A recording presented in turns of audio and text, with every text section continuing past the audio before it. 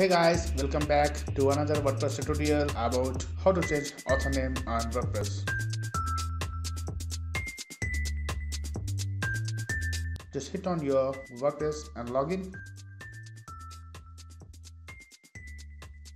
Now I'm going to change my author name from Nusrat to YouTube Paisa. Go to edit my profile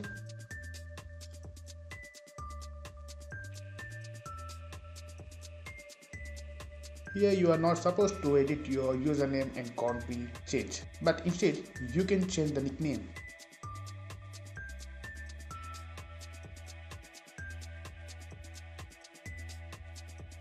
Now the given name is set as author name in display name publicly as. Click on update profile The profile updated with the changed author name.